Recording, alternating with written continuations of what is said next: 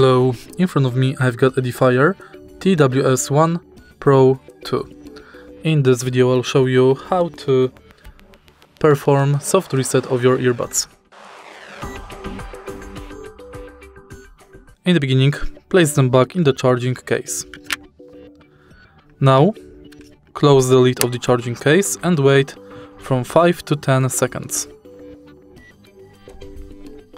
After this time, you can open the lid, take your earbuds out, and soft reset has been performed.